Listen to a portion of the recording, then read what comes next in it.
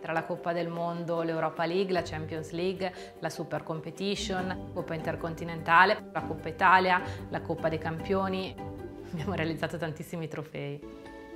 Mio nonno, Eugenio Losa, ha presentato dei bozzetti del direttore artistico Silvio Gazzaniga, quindi è andato a Zurigo col mio papà e hanno presentato non solo i bozzetti ma anche appunto il, il prototipo fisico della coppa e questo oltre a, indubbiamente alla bellezza del, del progetto ha fatto sì che vincessimo il concorso. È una coppa abbastanza difficile da fare. Sì perché bisogna curare molto i particolari, bisogna fare un'ottima cesellatura, dei finissaggi veramente curati e la malachite è un materiale molto difficile da lavorare. Eh, costruire un oggetto come la Coppa del Mondo dà una soddisfazione incredibile perché è un oggetto veramente ambito del top del calcio, quindi per noi è un grande onore e lo facciamo con una grandissima passione ogni volta.